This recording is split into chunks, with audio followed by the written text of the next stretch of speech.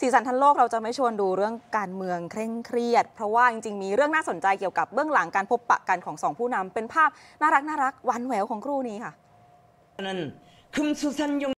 น่ารักไหมสุนัขพันธุ์พุงซาน หลายคนอาจจะคุ้นชื่อกันเนี่ยคิมจองอึนผู้นำเกาหลีเหนือพา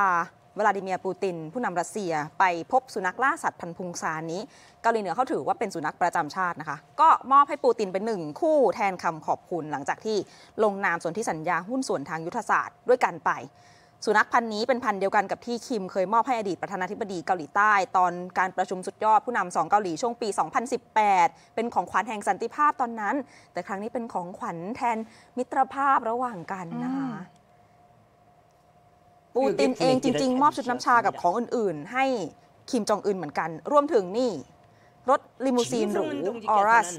จากรัสเซีย แล้วขับเองด้วยนะผู้นำรัสเซียน่ะ ขับนั่งคู่กันไปคุณขับไปคุยไปยิ้มไปหัวเราะไปแหม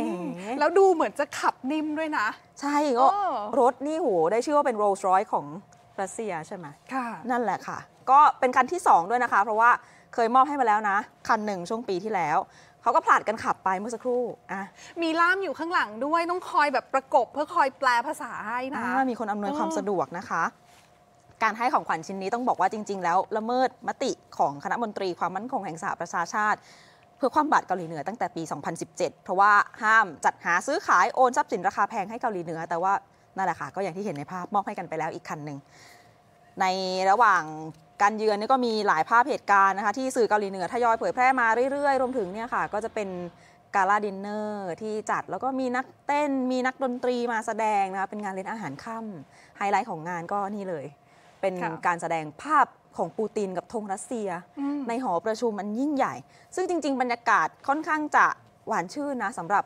ภาพที่เขาเก็บตกมาให้ดูกันระหว่างปูตินกับคิมจองอึนเนี่ยคือในช่วงที่ใช้เวลาด้วยกันไม่ว่าจะเป็นตอนที่แบบเดินดูสุนัขพุงซานหรือว่าขับรถวนไปทั่วๆ เรือนรับรองเนี่ยเขาก็บอกว่ามีการบทสนทนากันที่เป็นกันเองจริงใจต่อการพูดคุยถึงแผนการกระชับความสัมพันธ์สองชาติให้แน่นแฟ้นมากขึ้น ในทางการรักษาผลประโยชน์ต่าง ๆ ร่วมกัน โอ้โห แต่ภาพที่ออกมานี่